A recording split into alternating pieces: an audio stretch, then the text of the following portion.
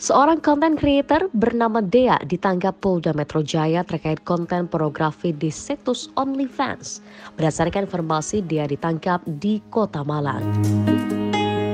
Diskrimsus Polda Metro Jaya Kombes Aluyan Syah Lubis Jumat 25 Maret 2022 menjelaskan tadi malam yang bersangkutan berhasil diamankan terkait konten pornografi. Dan saat ini ia masih dalam perjalanan menuju Jakarta untuk menjalani pemeriksaan.